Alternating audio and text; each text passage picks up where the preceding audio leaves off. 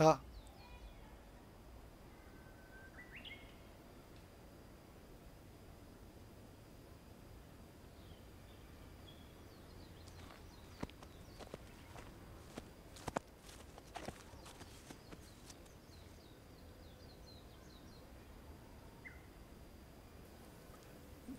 中学に入って1ヶ月。太郎は好きな子できたか？でできたよ。誰だよ？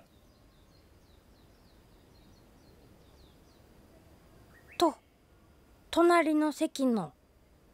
隣の？ああ谷村のことね。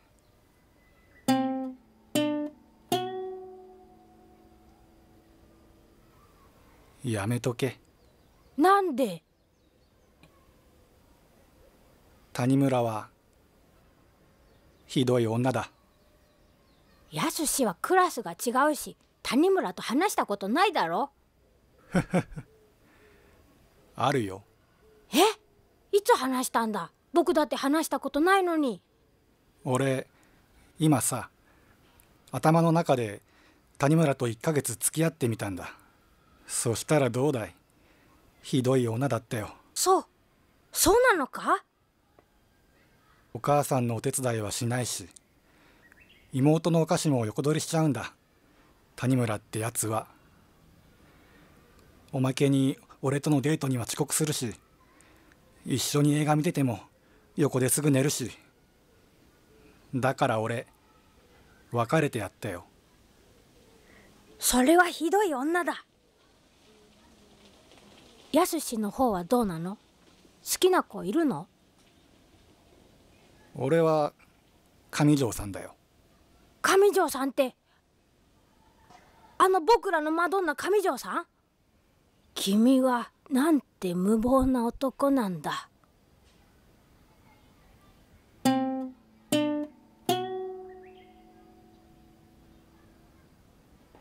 やすしん？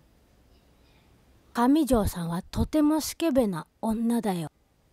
お風呂上がりの僕に上条さんは。やめろ。頼むからやめてくださいよし分かった。太郎俺と勝負だ。俺は上条さん。太郎は谷村さんと頭の中でどれだけ長く付き合えるか今晩勝負しよいいよ。う絶対負けないからな。結婚してやる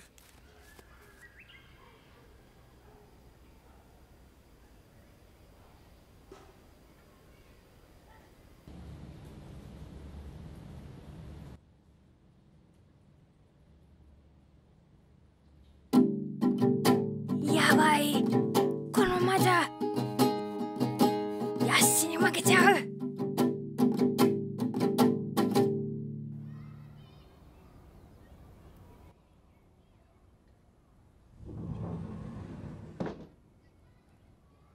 よ。悔しいけど僕の負けだよ。う振られたか？一週間で。じゃあ俺の負けだ。え？俺は3日で振られた。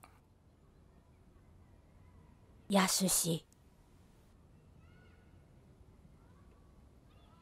母さん僕はこの時やすしとは一生の友達でいられると確信したんだ。